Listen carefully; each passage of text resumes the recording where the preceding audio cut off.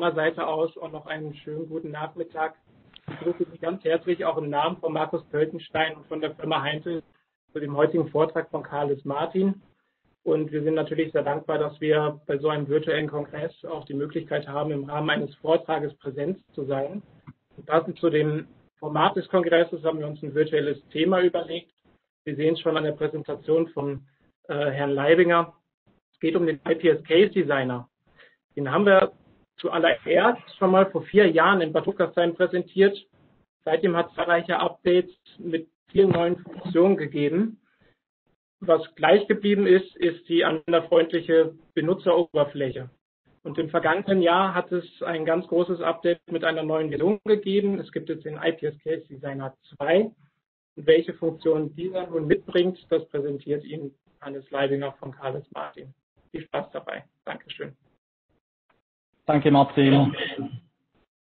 Ja, sehr geehrte Damen und Herren, ich darf auch Sie im Namen von Carlos Martin hier heute recht herzlich begrüßen. Mein Name ist Hannes Leiber, ich bin Junior Produktspezialist für den IPS Case Designer und freue mich wirklich sehr, Ihnen heute den IPS Case Designer, seine Neuigkeiten sowie die virtuelle Inklusion im IPS Case Designer vorstellen zu dürfen. In Bezug darauf steht der heutige Vortrag heute unter dem Titel IPS Case Designer, ein Update in virtueller Okklusion, in, in virtueller 3D-Planung, vom automatischen Case Report bis zur virtuellen Okklusion. Sollten Sie während des Vortrags irgendwelche Fragen haben, können Sie diese gern jederzeit im Chat stellen. Mein Kollege Achim Riegle wird Ihnen diese sofort im, im Chat beantworten oder wir kommen dann zu einem späteren Zeitpunkt dazu. Ja, zu Beginn des Vortrags möchte ich einfach kurz sicherstellen, dass diejenigen, welche den IPS Case Designer nicht kennen, einen kurzen Überblick erhalten. Danach werde ich dann auf die Neuigkeiten seit dem Update 2.1 weiter eingehen. Bevor ich dann auf die virtuelle Okklusion näher eingehe. Und zu guter Letzt möchte ich noch gerne eine interaktive Umfrage an Sie richten. Nun, was ist denn der IPS Case Designer denn genau? Beim IPS Case Designer handelt es sich um eine Software, mit der die virtuelle 3D-Planung orthognater Eingriffe zu realisieren ist. Und hierbei werden dank flexibler Software-Tools die Planung sowie die Simulation chirurgischer Eingriffe wirklich sehr effizient und zuverlässig. Der Anwender wird hierbei durch einen wirklich sehr intuitiven und direkten Ansatz Schritt für Schritt durch die Planung geführt und gelangt so zum gewünschten Ergebnis. Durch diese intuitive Bedienung und dem selbsterklärenden Planungsablauf haben Sie als Anwender einen deutlich kürzeren Planungsablauf. Ja, mit dem IPS Case Designer ist es unter anderem möglich, den zentralen Punkt der orthognaten Fallplanung, die Schlussbestellung mit einzubinden. Und hierbei ist es komplett Ihnen als Anwender überlassen, ob Sie diese klassisch am Gipsmodell planen und am Artikulator und dann mit in die virtuelle Planung integrieren oder ob Sie die Zielbestellung in der Software virtuell simulieren. Wie genau die virtuelle Okklusion funktioniert, werde ich Ihnen aber später dann aufzeigen.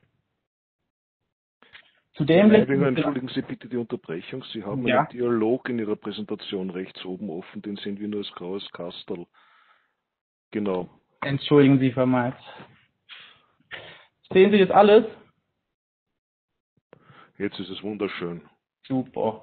Ja, ähm, zudem lässt sich mit dem IPS Case Designer auch die Simulation des Weichgewebes mühelos und auch in Echtzeit umsetzen. Und ein optionaler Import eines realitätsgetreuen 3D-Patientenfotos sorgt für eine wirklich verblüffende Darstellung, wie Sie hier rechts im Bild auch sehr schön sehen können. Hier wird das Weichgewebe dann mit jeder knöchernen Bewegung live simuliert und somit sieht der Anwender, wie sich eine bestimmte knöcherne Bewegung auf das Weichgewebe auswirkt. Dazu kann dem Patienten gezeigt werden, was für Auswirkungen solch eine OP auf sein Aussehen hat und der Patient kann sich natürlich somit viel besser mit dem Eingriff identifizieren. Des Weiteren können auch Osteotomien durch eine virtuelle und dreidimensionale Planung mit dem IPS Case Designer sehr detailliert und mit Rücksicht auf jegliche Besonderheiten erstellt werden.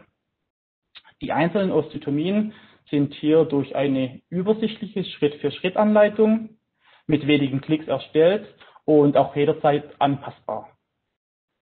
Unter anderem ist es aber auch möglich, mit Hilfe von diagnostischen Werkzeugen, wie zum Beispiel einer digitalen kephalometrischen Analyse, aber auch standardisierte Messungen und eigene Analysen mit sehr geringem Aufwand durchzuführen, diese dann anschließend mit den Ausgangswerten zu vergleichen und dann mit Schritt für Schritt zu ihrem gewünschten Ergebnis zu gelangen. Hier sehen Sie sehr gut, wie, wie nach dem Durchführen einer kephalometrischen Analyse und anschließenden knöchernen Bewegungen bestimmte Messungen, wie zum Beispiel hier der SNA und SMB-Winkel, sich leicht verändern und wie sich diese im Gegensatz zur präoperativen Situation auch verändert haben. So kann sich ein, der Anwender Schritt für Schritt einem gewünschten Wert annähern. Und diese Möglichkeit führt natürlich zu einem erheblichen Mehrwert in der Patientendiagnostik und einer präziseren OP-Vorbereitung. Anschließend werden dann auf Basis ihrer Planung die benötigten Splints erstellt und stellen hier die grundlegende Verbindung zwischen der Simulation in der Software und der Umsetzung am Patienten dar und haben somit entscheidenden Einfluss auf das Behandlungsergebnis. Und hierbei haben Sie durch einen möglichen Export der Splint-Dateien die Möglichkeit, einen komplett selbstständigen Inhouse-Workflow von der Planung bis zur Splint-Produktion zu haben. Nun, was hat sich aber im IFS Case Designer seit dem Update 2.1 getan? Also im Bereich des Splint-Designs ist es dem Anwender nun möglich, eine bukale Verlängerung dem Splint hinzuzufügen und somit auch Drahtlöcher zu planen. Sobald Sie auf bukale Extension einfügen klicken, öffnet sich hierfür ein weiteres Fenster und Sie können per Mausklick definieren, an welcher Stelle Sie Ihre Drahtlöcher positionieren wollen. Hierbei empfehlen wir die untere und die obere Ansicht, hier im rechten Bildabschnitt, um anhand des Zahnbogens eine optimale Definition der Drahtlöcher zu gewährleisten. Während die Drahtlöcher hier hinzugefügt werden, erstellt das Programm gleichzeitig Zylinder, wie Sie hier im linken Bildabschnitt sehen können. Diese können per Klick auf die Endpunkte gelöscht werden oder auch der Winkel kann dabei verändert werden. Zudem können Sie dem Splint einen Tag, also ein Abzeichen mit I für den Zwischensplint und mit F für den finalen Splint hinzufügen, um diese im OP dann nicht zu vertauschen. Diese Tags sind in den Splint eingelassen, wie man hier etwas sehen kann. Des Weiteren haben wir auch die Möglichkeit, auf dem Splint-Etikett zwischen der lingualen Brücke beispielsweise den Namen oder eine spezielle Patienten-ID einzugeben. Hierbei sind die Buchstaben aber nicht in den Spind eingelassen, sondern stehen etwas heraus. Wenn Sie diese Funktion aber nicht wünschen, kann es jederzeit in den allgemeinen Einstellungen abgewählt werden. Zusätzlich gibt es auch bei den allgemeinen Planungsfunktionen ähm, Erneuerungen. Seit dem Update lassen sich hier bereits durchgeführte Osteotomien auch ganz einfach entfernen. Hierfür wählen Sie einfach unter dem Reiter Patient das gewünschte Modell, wie zum Beispiel hier das Kinn aus, bei dem Sie die Osteotomie entfernen wollen. Und über den Klick des Ellipsensymbols haben Sie nun die Möglichkeit, die Osteotomie zu entfernen. Zudem lässt sich auch seit neuestem der Rotationspunkt des Unterkiefers anpassen. Dies war bisher leider nur für den Oberkiefer möglich. Aber wenn Sie jetzt Ihre knöchernen Bewegungen unterkieferbasiert durchführen wollen, haben Sie nun unter dem Reizer Eingriff die Möglichkeit, das Ellipsensymbol hier auszuwählen und über diesen Rotationspunkt des Unterkiefers anzupassen. Hierfür öffnet sich dann hier das separate Fenster und Sie können den Rotationspunkt nach Ihren Wünschen, zum Beispiel hier auf den Initialpunkt setzen. Zudem ist es aber auch möglich, mit dieser Funktion stufenweise translatorische und rotatorische Bewegungen nacheinander zu kombinieren und jederzeit auch den Rotationspunkt erneut anzupassen und diesen beispielsweise hier vom Inzisalpunkt auf den rechten Sechser zu ziehen. Bei mehreren rotatorischen Bewegungen werden Ihnen in den rot umrandeten Felder nur die Werte der letzten rotatorischen Bewegung wiedergegeben, aber nicht die Summe aller Bewegungen. Die endgültigen Bewegungen werden Ihnen aber später in einem automatischen Case Report summiert dargestellt.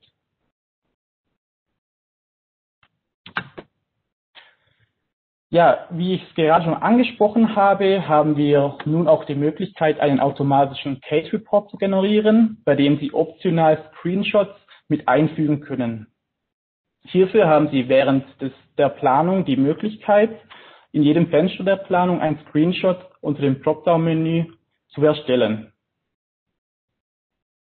Danach haben Sie dann die Möglichkeit, diesen Screenshot lokal abzuspeichern und auch in Ihren automatischen Case Report mit einzufügen. Unter dem Reiter Bericht lassen sich die von Ihnen die Screenshots verwalten und im Nachhinein auch einfach löschen. Und für die lokale Abspeicherung unter, ähm, haben wir die Möglichkeit, unter den allgemeinen Einstellung, Einstellungen den Speicherort auszuwählen, unter dem Sie die Screenshots lokal auf Ihrem PC abspeichern wollen. Wie ich bereits eben kurz angesprochen habe, ist es nun auch möglich, einen automatischen Case Report zu generieren, bei dem Sie genau diese Screenshots einfügen. Dieser Case Report lässt sich im Hauptmenü unter Bericht erstellen nun generieren und Sie haben hier die Auswahl aus drei unterschiedlichen Case Report Arten. Den einfachen Bericht, einen erweiternden Bericht und einen benutzerdefinierten Bericht. Nachdem Sie hier auf Bericht exportieren geklickt haben, wird der Case Report generiert und anschließend geöffnet. Hier sehen Sie gerade zum Beispiel einen kurzen Auszug aus dem erweiterten Bericht. Auf die jeweiligen Inhalte werde ich aber gleich nochmal genauer auf, drauf eingehen. Ja, der einfache Bericht hat einen Umfang von circa 24 Seiten und beinhaltet unter anderem die präoperative und die finale Position, die finale Zielokklusion sowie die maxilläre und die mandibuläre Analyse. Des Weiteren beinhaltet er die Weichgewebsbewegungen sowie eine Tabelle aller knöchernen Bewegungen und optional natürlich die Screenshots, die von ihm aufgenommen wurden.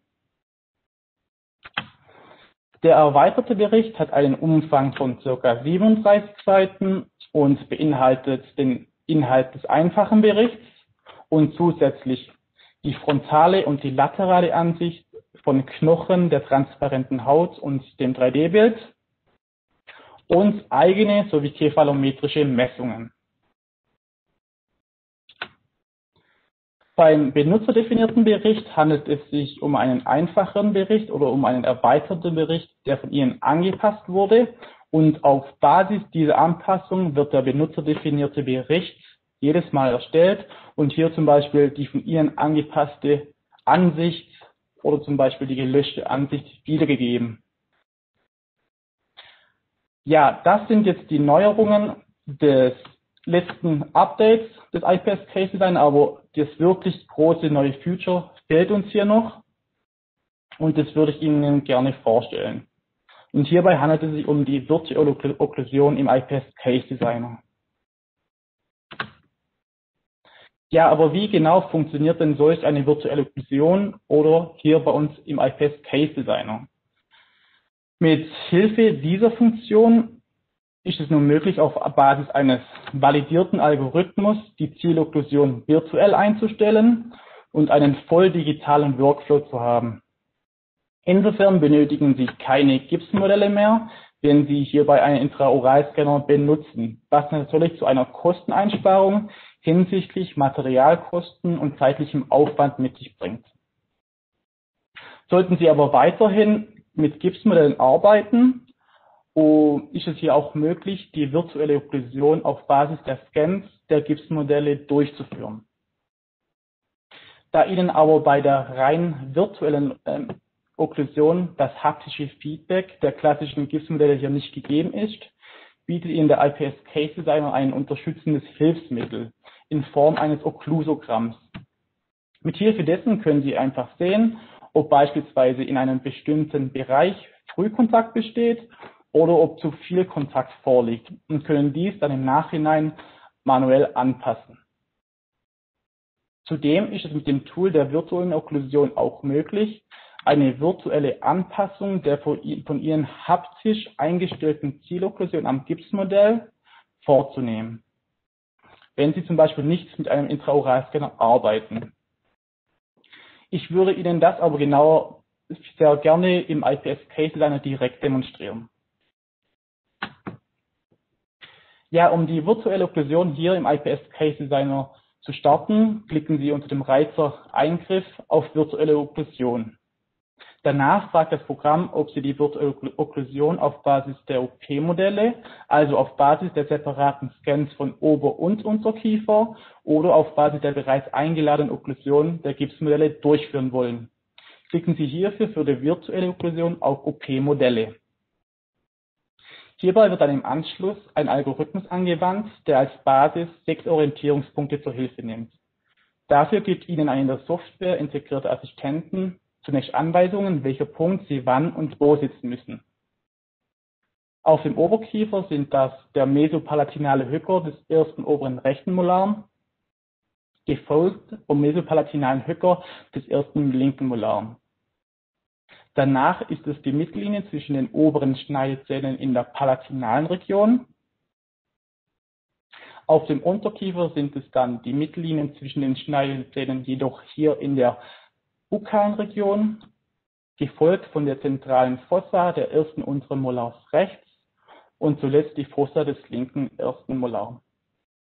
Sobald Sie hier den letzten Punkt gesetzt haben, findet der Algorithmus Anwendung und setzt die beiden Kiefer zur Zielokklusion zusammen.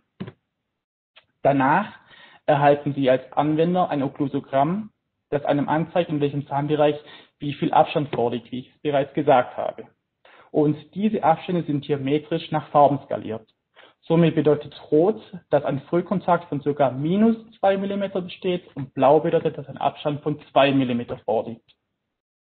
Somit bedeutet eine gelbe Verfärbung Kontakt im Abstand von ca. 0 mm. Sollte Ihnen im Anschluss die von der Software vorgeschlagene Okklusion jedoch nicht gefallen, können Sie aber mit translatorischen wie auch rotatorischen Bewegungen die Zielokklusion Schritt für Schritt per Click and Drag oder per Eingabe eines Wertes anpassen. Danach wird jede Bewegung im Okklusogramm wieder live aktualisiert. Ist anschließend die Zielokklusion soweit in Ordnung, passt jedoch in einem bestimmten Zahnbereich nicht, aufgrund von zu viel Kontakt, kann über das Werkzeug Schleifen in diesem Zahnbereich geschliffen werden, wie Sie hier eigentlich sehr gut sehen können. Sollten Sie aber auch weiterhin mit den klassischen Gipsmälern und deren Scans arbeiten, können Sie die von Ihnen haptisch eingestellte Okklusion auch virtuell anpassen. Wenn die Gipsmodelle beispielsweise heruntergefallen sind oder im Nachhinein eine Verbesserung vorgenommen werden muss. Wählen Sie hierfür zunächst die geladene Okklusion als Startpunkt. Hierfür müssen Sie dann im Anschluss jedoch keine Orientierungspunkte mehr setzen, um den Oberkiefer und den Unterkiefer in die Zielokklusion zu bringen. Die Software erkennt hier automatisch die definierte Zielokklusion und visualisiert die Abstände hier im Okklusogramm. Im Falle eines segmentierten Oberkiefers funktioniert der Algorithmus jedoch nicht in diesem Ausmaß. Sie haben hier aber die Möglichkeit, die virtuelle Okklusion so weit durchzuführen, dass Sie jedes Oberkiefersegment separat entweder rotieren oder verschieben. Und so kommen Sie Schritt für Schritt zu Ihrer gewünschten Zielokklusion. Ja, das waren beziehungsweise das sind die grundlegenden Funktionen der virtuellen Okklusion im IPS Case Designer. Und basierend darauf möchte ich gern eine interaktive Umfrage an Sie werfen oder Ihnen zuwerfen. Da die Frage hierbei interaktiv ist, bitte ich Sie hierfür vielleicht Ihr Smartphone oder Ihr Tablet bereitzuhalten, falls es möglich ist, um hierbei live abzustimmen. Ja, die Frage von mir an Sie lautet wie folgt. Nutzen Sie das technische Hilfsmittel der virtuellen Okklusion bereits in Ihrer orthognaten Planung? Ich bitte Sie hierfür, den QR-Code mit Ihrer Kamera zu scannen Anschließend gelangen Sie zu der Umfrage, bei der Sie diese Antworten hier auswählen können. Bei denjenigen, bei denen der QR-Code nicht funktioniert, bitte ich auf slido.com zu gehen und dort den Code 9253 einzugeben. Im Anschluss sehen wir dann live, wie viel von Ihnen welche Meinung dazu haben.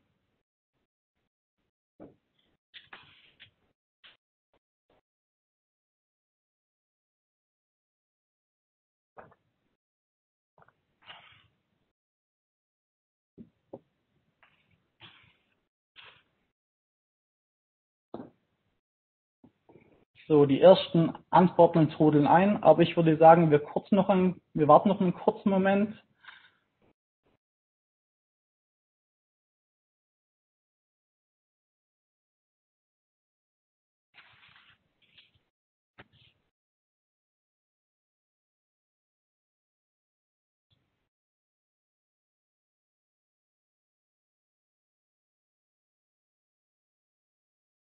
Ja, aktuell haben jetzt 19 Teilnehmer von Ihnen abgestimmt und ich denke, wir können mit diesem Ergebnis jetzt mal fortschreiten. Ähm, 20 Prozent von Ihnen sagen, dass Sie aktuell nicht mit solchen Hilfsmitteln arbeiten. Ähm, sehr gerne kann sich jemand von Ihnen dazu melden, warum Sie aktuell nicht solche Hilfsmittel oder mit solchen Hilfsmitteln arbeiten und vielleicht auch sagen, warum Sie dies aktuell nicht machen, wenn Sie das gern wollen.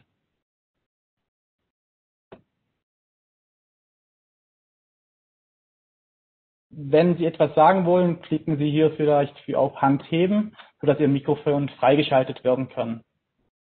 Ich würde sehr freuen, wenn sich jemand dazu äußern würde von Ihnen.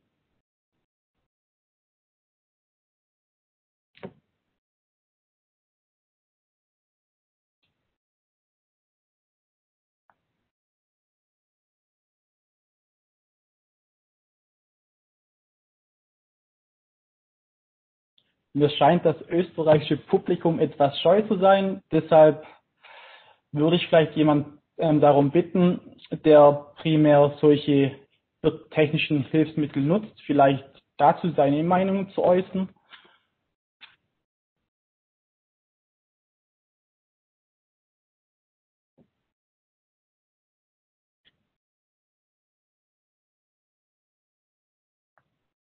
Okay, ich denke, alle von Ihnen haben jetzt mal so einen groben Überblick, wie Ihre Kollegen aus dem Land so dazu stehen. Und trotz allem würde ich Sie gerne bitten, ähm, falls Sie Ihre Meinung nicht dazu weiter äußern wollen, aber Fragen haben, können Sie diese jetzt auch gerne stellen, wenn Sie das wollen.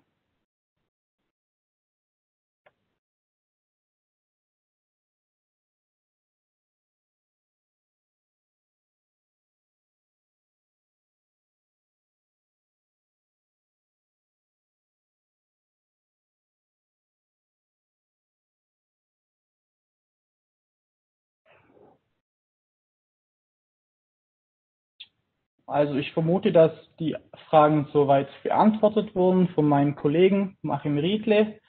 Und wenn Sie keine weiteren Fragen mehr haben und keine mehr offen sind, ähm, möchte ich Ihnen mich im Namen von Carles Martin recht herzlich für Ihre Aufmerksamkeit bedanken. Und sollten Sie aber weitere Fragen haben, können Sie sich gerne jederzeit bei mir melden.